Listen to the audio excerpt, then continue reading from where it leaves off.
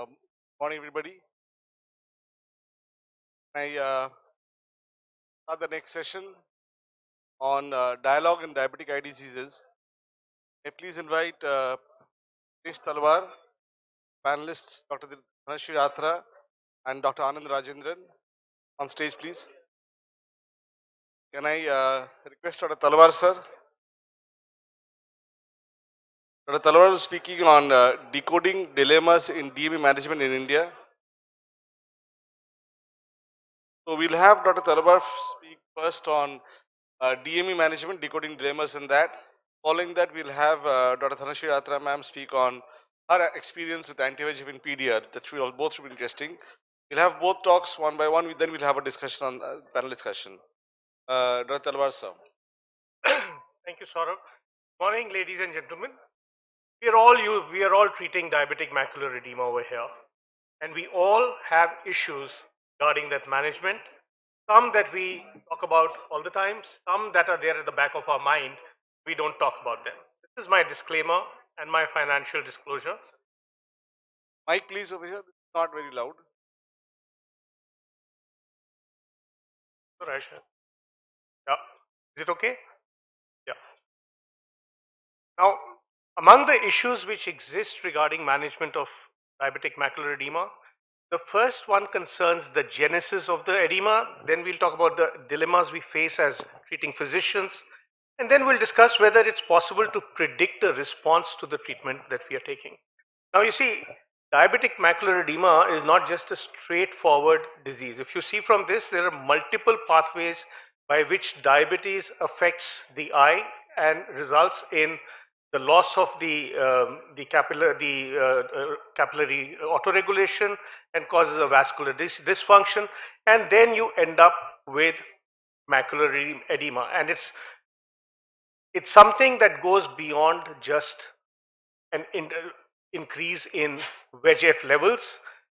And the root cause is hyperglycemia which needs to be addressed if we are really looking to improve our patients on a long-term basis. Um, it's not just blood glucose, but it's also the blood pressure, the, uh, the, uh, the lipid control. And we all know this, but the question is, do we give it enough importance? The other important issues in today's era of anti-VEGFs, everyone says lasers are obsolete. Are they? Well, the, this myth came from this study uh, both the Restore and DRCR net I, which said that look, the patients who had anti-VEGF with laser had slightly lower visual results, visual outcomes, as compared to the ones who had a deferred laser. But we'll come to that. And remember, there are patients whom you have who have center involving diabetic macular edema, but the origin of that leak is way beyond the foveal center and they are easily amenable to laser. And in both the protocol I and DRCR net uh, and the restore, uh, there were enough cases, almost 50%, who had a possibility of being lasered. Now, does every laser work equally well? The one thing that you come across is that if you see do a subgroup analysis, the diffuse diabetic macular edema when lasered, the vision outcomes dropped. On the other hand, that means you're giving anti-VEGF and you add to that a, a, macular grid, the chances are your vision will drop. But if you've done a focal macular laser, actually there is no difference in the outcome. So if you have that worsening, it's not because of laser. Laser is being condemned unnecessarily. It is the type of laser that you've done. The other important thing is that could peripheral CNP also be contributing to um, uh, to the non-responders in among the DME group. And one of the biggest studies we have is the protocol S itself, where they found that in patients who had DME, if you compared the monotherapy group, they got in the first year nine injections compared to the group which had combination of PRP with anti-VEGF and they needed only half the number. In two years, the figure drops from 14 to 9. So keep it in mind, is it possible that PRP would decrease the need of anti-VEGF treatment in DME in patients who are non-responders? So in patients who are non-responders, keep this in mind. Which anti-VEGF to use when we will discuss now the how to use them. The first thing is, is there a need to say, hey, hey, get this injection done quickly? There's an emergency. There is no emergency.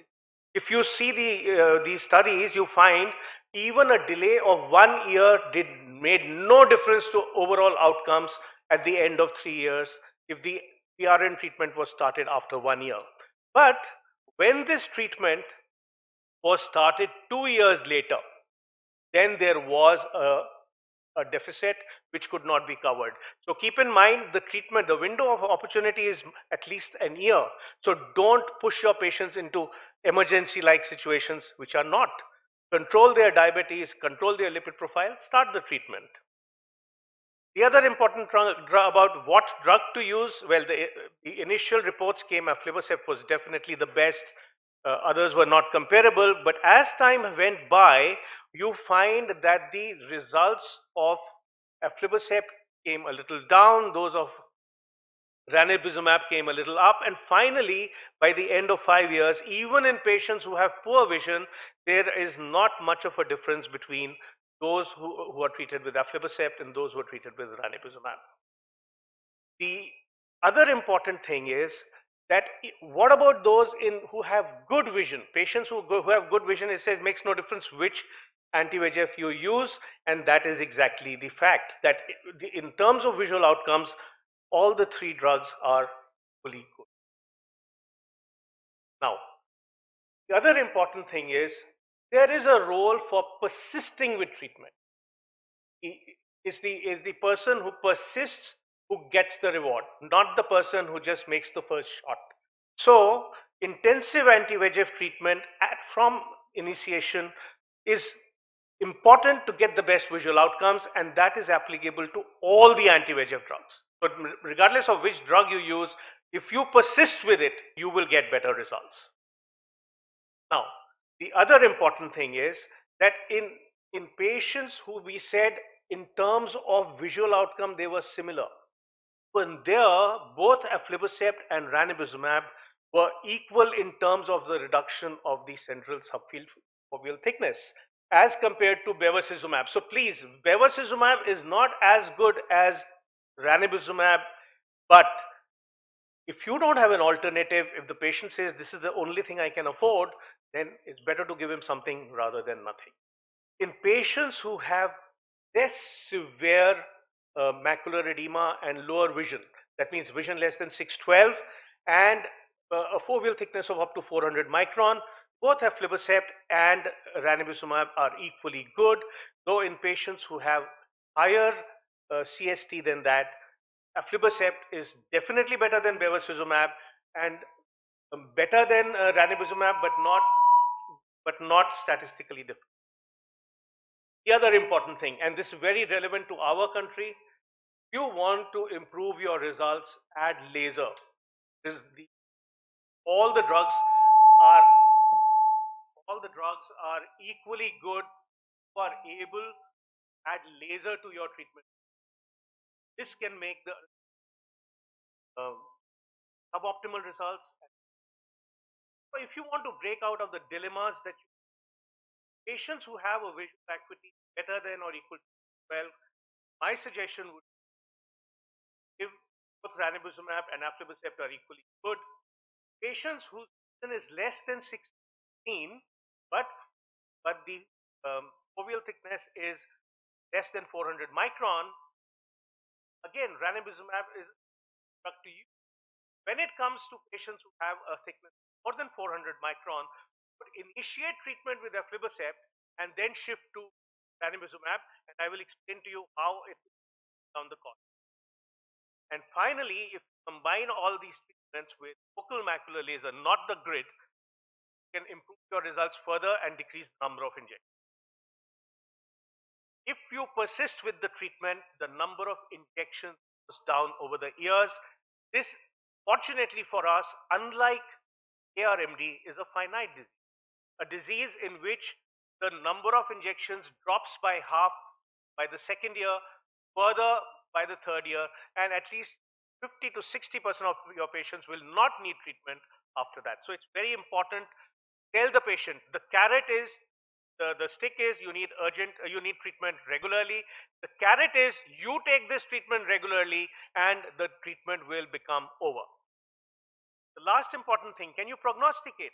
The best prognosticator is not one OCT change or the other, which are all controversial, but the most important is a therapeutic indicator. You give three injections of ranibizumab and the patient becomes all right, you know this patient is going to have a great result over the whole year. Patients who respond by month 3 or 4 actually have a need for less injections, around average of 4.3 and at least two line improvement by the end of the year. So that is your best prognostic indicator and you can tell the patient by the end of three injections I can tell you how you're doing with this treatment. The other important thing is what about chronic persistent DME? And there are patients, almost 30-40% who will be like that. Even in these patients, if you persist with treatment, and that's why I'm, I'm highlighting this, we give up, give up too soon. Don't give up on the disease, on the patient continue and you will get the results. Even these patients, number of percentage have chronic DME decreases from around 40% initially down to um, percent at the end of take the whole cohort uh, of patients. But the ones who have persistent DME do not get as good vision as the ones who had. That's something that makes sense. Now, those patients who don't do well after the first three injections, by say 12 weeks, fine, they had less than 5 letter improvement and that even with aflibercept is 25% of the patients, that in mind. These patients, when they are treated with either aflibercept or ranibizumab in the, both the groups, you find at the end of two years, there's almost, it's as if well, they're either equal or at least in the study, the, the ranibizumab group did slightly better, not statistically significant, but slightly better. So the point is that it's important that just because initial gains were not there, not that only aflibercept will work. Ranibizumab can work equally well even in those that in mind. And you see this over here that the percentage of patients got more than 10 letters was high, in fact highest ranibizumab group of the protocol T. What about economic issues? Most important, ultimately, that's the deciding factor. Now, fortunately for us, we have an era of biosimilars, have an era of patient support. But together, the costs are coming down. Other important thing, they have a patient support program even for Centrix, where you have a 2 plus 1 scheme. Actually, if you look at it, at least in our center, effectively means that the patient's cost for the biosimilar and for Centrix virtually working out to be the same. And if you look at aflibercept, that complete program of five injections actually ends up with one injection less. So in the initiation phase, if you need to start with aflibercept, you can do that. But in the maintenance phase, may be served better for your with your patient by then shifting out to the patient support program of Accentrix. So it's important to choose the right patient support program at the right time also. So ladies and gentlemen, to conclude, first, want to your patients to well, systemic control must be initiated early and continued for the long term. Both ranibizumab and aflibercept have a similar reduction in uh, patients who are better than 12. Patients who have less than 6 uh, CST of less than 400 micron Percept and ranibizumab are similar in combination of ranibizumab with focal laser can give you as good results as monotherapy. Except most important thing, clinical outcomes with anti-VEGF including ranibizumab can be sustained for five years. The substantial reduction in injection frequency over time. They, cost issues are no longer a deterrent the use of any drug, including all the innovator drugs. Keep it in mind that you have suboptimal responders, maybe want better than ranibizumab or at least as well as aflibercept. One doesn't need to aflibercept. That's it. Thank you very much, Lee. Thank you, sir. Thank you very much. We'll um, quickly move on to the next uh, our next speaker, Dr. Dhanashree Ratra. Um, I'm I would like to thank VRSI and uh, Novartis for this opportunity. And I'm going to talk to you today about my experience with anti-VEGF in proliferative diabetic retinopathy. And uh, I have no financial interest and this is a disclaimer from Novartis. Uh, so we know that diabetes is a major disease burden in our country and what is more important to know that one in every six diabetics in the world is an Indian, which is a really a frightening uh, statistics if you can calculate the number. And uh, most of this, if you look at the, uh, the amount of proliferative diabetic retinopathy in these diabetic patients, it nearly amounts to about 17 to 20 percent. So that increases the burden of diabetic retinopathy uh, way too way too high. And it's also seen that the prevalence of diabetic retinopathy is much higher in Indians as compared to the other Asians. So we know that the gold standard of uh, treatment for proliferative diabetic retinopathy is panretinal photocoagulation. But we also know and it, uh, these are points to ponder that nearly 40% of PDR patients do not respond properly to PRP. Nearly one third of these patients have a recurrence of neovascularization even after a good PRP. And uh, nearly about 40% develop vitreous hemorrhage soon after the PRP. I mean, so much so that most of the patients blame the laser for the vitreous hemorrhage. So, uh, and then we keep adding more fill-in PRP to stop those uh, neovascularization and vitreous hemorrhage. And this is what it ends up that the entire retina is, uh, you know, destroyed by the laser, but for the small central uh, island, that affects the field of view uh, uh, drastically and patient has probably only tubular fields this. So we need to see, think that is it time for change now? Do we, can we do something else? Can we prevent this? So the rationale for use for anti-VEGF and what is the role of anti-VEGF in PDR? So we know that anti-VEGF agents are uh, have a potential to prevent recurrences. They can lead to uh, decrease in the diabetic retinopathy severity and they can reduce the neovascular process at the same time maintaining the integrity of the retina and it will ultimately have a beneficial result in maintaining uh, and preserving vision. So what are the clinical scenarios in which you can add anti-VEGF in a PDR patient? So of course you can add it with PDR with uh, center involving DME but you can also add uh, anti-VEGF in active PDR along with uh, PRP. You can also have PDR with uh, either neovascularization of the iris or NVG and in PDR after vitrectomy where there is recurrent vitreous hemorrhage.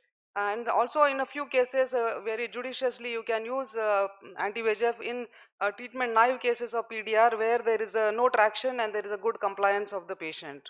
So let us look at these clinical scenarios one by one. PDR with center involving DME. These are some few representative cases. This is a 45 year old male with a, a PDR, lot of capillary non-perfusion and also macular edema.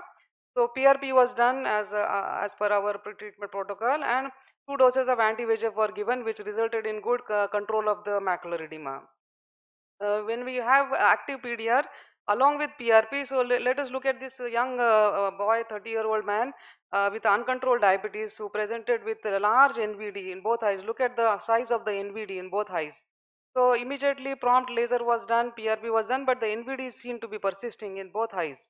So again we did another round of fill-in PRP and now, now there is also some hemorrhage along with that. So I was really concerned for this young boy and so we decided, I decided to add anti-VEGF for this. So one dose of anti-VEGF, there is some reduction in the NVD, but uh, still it's persisting. So finally second dose was given and uh, this is actually after the third dose there was finally good reduction of NVD, maintained the, uh, the retina is maintained, no hemorrhage and good, good outcome. So this is what uh, I would like to stress that uh, along with anti-VEGF it can give good outcome. This is another patient, a 53 year old male. Again you see the NVD which persists even after PRP and this I am talking about 3-4 months down the line after PRP, not immediately after PRP. So due time is given for regression but even then it persists so you can add one anti-VEGF and it can result in good regression. When you have PDR with no traction but and patient is likely to be compliant, you must inform the patient about the need for, for complete follow-up. And this is a patient uh, with a similar uh, disease where there was a small NVE along with, uh, of course, diabetic macular edema and this I am treating with regular doses of anti-VEGF. No laser has been done so far, and he's doing good. The the NV is progressed well. Uh, of course, you know that PDR with NVI or NVG are uh, uh, prime good candidates for anti-VEGF because anti-VEGF in just single dose leads to good regression of the NVI or NVG and can help especially if the angle is open. And if you have a vitrectomized patient who has a recurrent vitreous hemorrhage, we know that 85% of these patients have a fibrovascular proliferation related to the sclerotomy site and they do well with an anti-VEGF injection. You can also add vitreous lavage if there is a lot of bleeding present. And uh, of course, we know all of us are using it as a preoperative tool for uh, large fibrovascular proliferations before we do the surgery. So, but of course, you are not going to believe me and just start doing uh, using anti-VEGF for PDR. But best practice would be to examine the research of the evidence available in the literature and then decide for yourself. So let us look at very briefly and very quickly at what evidence we have so far. There is a large body of evidence available for ranibizumab in PDR. And if you look at protocol S, uh, the conclusion of protocol S that it supports ranibizumab as a viable treatment for um, PDR and uh, even with whether patient has DME or no DME, uh, despite that the, the PDR patients did show good improvement. Uh, in RISE and RIDE also they looked at the severity of diabetic retinopathy and there was nearly two step or three step improvement in the severity of diabetic retinopathy scale with uh, ranibizumab. And this uh, nearly about 75% of patients achieved this improvement in one year and this improvement was stable, clinically noticeable and uh, maintained for nearly three years. The, the, the, there was a three times reduction in new NV formation in these patients who were treated with ranibizumab. And in protocol I also looked at ranibizumab along with uh, uh, PRP and they also showed that there was a reduced risk of uh, diabetes retinopathy progression when uh, ranibizumab was added. So here you can see compared to the other arms that is laser or uh, triamcinolone, there was a good uh, control of diabetic retinopathy when the patients were treated with ranibizumab alone or along with PRP. In Proteus study, uh, again it was shown that ranibizumab along with PRP uh, led to good regression of uh, neovascularization process with maintaining visual acuity. Uh, the, the area of the neovascularization process was seen to regress nearly 92% of patients when the ranibizumab was added.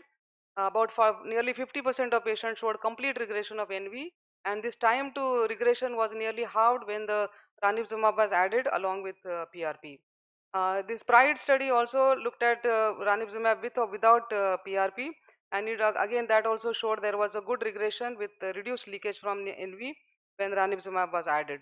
And there was a, a meta-analysis also available. Looked at again uh, role of ranibizumab in various uh, various treatments for PDR and nearly 15 studies were included in this meta-analysis and the meta-analysis also stated that the best effect on vision was uh, seen when ranibizumab was added as a treatment option for PDR. There was a good change of uh, control of uh, central retinal thickness when ranibizumab was added along with PRP. And overall the adverse reactions of PRP were reduced when ranibizumab was added. And this is the forest plot which shows that there is a favorable uh, uh, uh, outcome for ranibizumab either alone or along with PRP. But what is the strategy when to combine anti-VEGF, whether we should do anti-VEGF first followed by PRP or whether we should do PRP first or followed by anti-VEGF and there is a study for that also.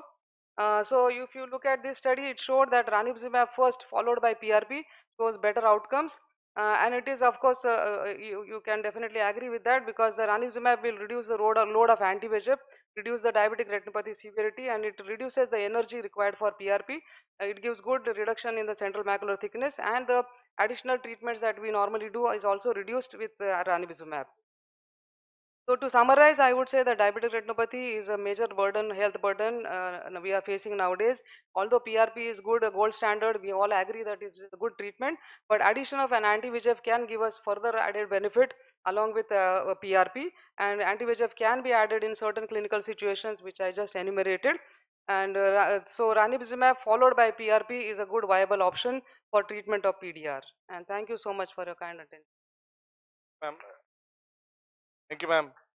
Um, Anand, I'll move to you directly. Staying quiet for some time. Um, what do you? Uh, I, I'll move to DME first. But let me be very specific. DME patient, did well off, intelligent, well off patient, intelligent, 618, 612, OCT definite. Uh, two questions directly to you in mind what Dr. Dinesh kept saying, some role of laser, some leak here and there, and with your experience, put in do contact lens, you see something. Do you at any point advise nowadays any FA initially in mind that you would like to do a focal at some point? So, uh, question. I think now uh, most uh, OCT, uh, you know, have angiography.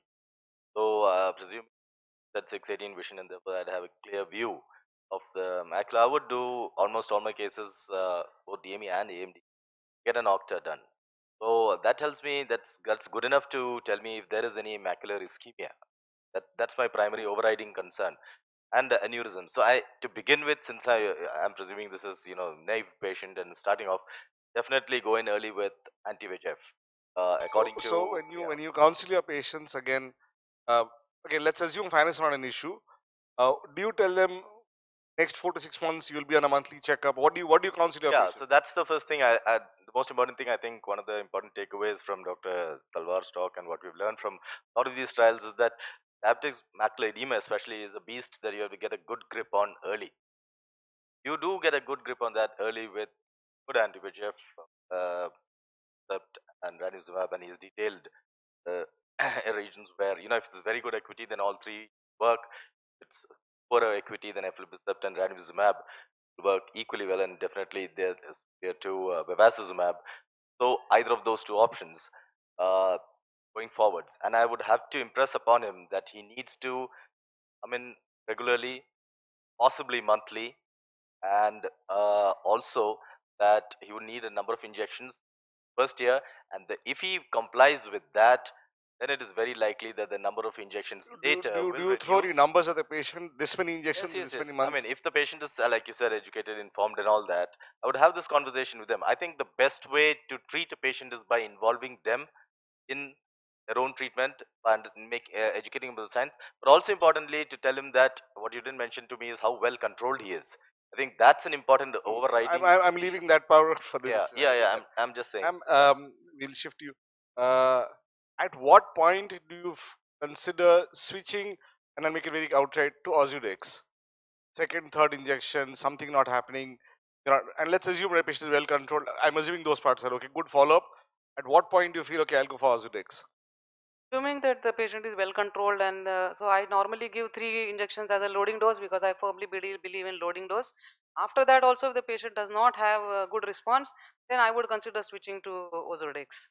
Uh, are you a uh, would you con- consider phakic status as a no-no, or you're okay with the Ferron Ozurdex? No, I am okay with Ozurdex even in phakic patients. I just need to explain to the patient that there is a chance of developing chance of uh, yeah, cataract Right. and agree is fine. before I move on, um, the next session to understand, uh, you uh, uh, that we assume we accept uh, NVI, NVG, all those patients have uh, anti-VEGF. There's one corner which said good compliance.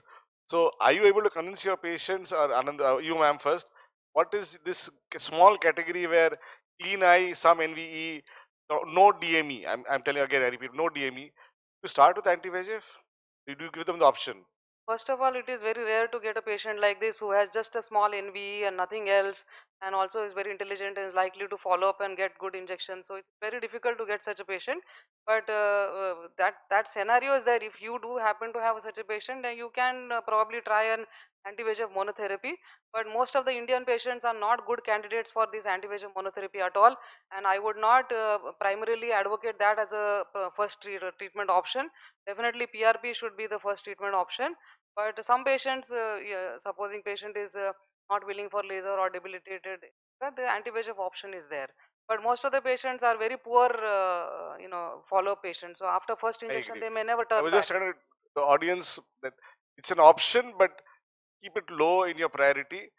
PRP would again go ahead and at the add-on uh, anti-VEGF at some point rebleeds with heme, well controlled. In those patients, you can add on one injection here, here and there, but that is not the mainstay of what we are doing. I'll have uh, one user, then Sangeet, and we'll stop after that. Uh, I believe monotherapy for PDR, like catching the tiger by the tail. Got it, then you, you can't leave it. Better alternative is to add PRP along with an anti-VEGF. Results of a combination therapy are probably the best that you can get in terms of resolution of the disease process. So in patients who have a flat neovascularization, I would give an anti-VEGF and complete the PRP. That's the patients who have a study group to do a study on. Yes, on patients, yeah, so you can do that for the next year. Those who have raised neovascularization, I'd probably prefer to have PRP first and consider uh, adding VEGF later. One last comment from Dr. Sangeet Mantla, we close the session. after that. Just I wanted to know uh, if a patient has PDR and DME both, and you are treating the patient with monthly injections, so then also you need a laser. No, no. Absolutely. I think definitely. Uh, they're two separate uh, diseases, of course, the different manifestations. But I think PRP is an absolute mandate, the primary treatment for uh, somebody who has had it. Reason for that follow up with, uh, because if you have a loss to follow up, DME loss to follow up, nothing toward will happen. PDR loss to follow up after your monotherapy, you may end up with a patient coming back with either tr- traction detachment or a vitreous uh, severe. Patient is already on monthly injection. He's coming. That's why I said that the patient coming for the monthly injection come for the first and the second, and after the third, it disappears for one year. Will come back with severe PR, almost like a bang.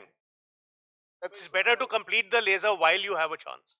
There are legal implications also. In that case, uh, you will give one injection, do the laser, or you give uh, three injections and then do the laser. The, after the first, after the first injection, or maybe the second, hit the laser. we will stop that here. Start the next session, please. Thank you so much.